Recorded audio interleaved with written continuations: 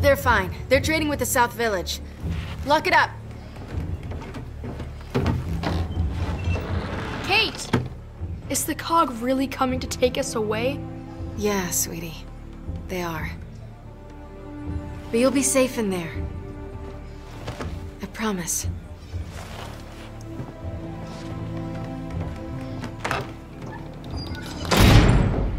All right, William. Lock it up!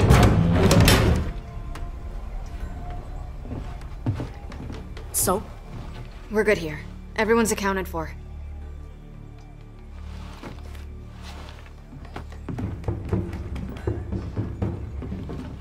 Your First Minister is fond of the grand gesture. Yeah, she doesn't do subtle. Well, neither do I. Defend this door, and let's show her exactly what happens when you attack outsiders.